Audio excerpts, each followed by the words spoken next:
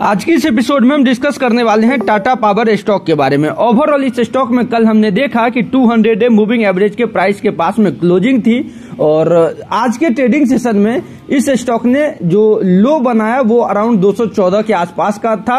Volume around one crore के आसपास का है। शॉर्ट टर्म ट्रेडर के लिए ये बात ज़रूरी है कि जब तक ये स्टॉक 218 19 के ऊपर का सस्टेन करता है या क्लोजिंग देता है, तभी तक इस स्टॉक में लॉन्ग रहना है।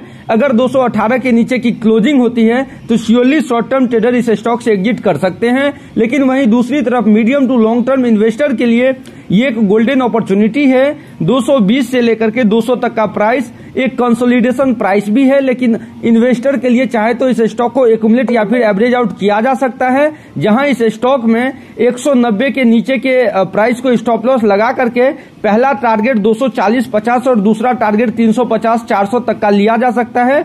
400 तक के टारगेट यानी कि यहाँ से डबल के आसपास का जो प्राइस है within maximum 1.5 year to two year के ड्यूरेशन में दिख सकता है और 240 260 के जो टारगेट है विद इन सिक्स मंथ के ड्यूरेशन में इस स्टॉक में दिख सकता है।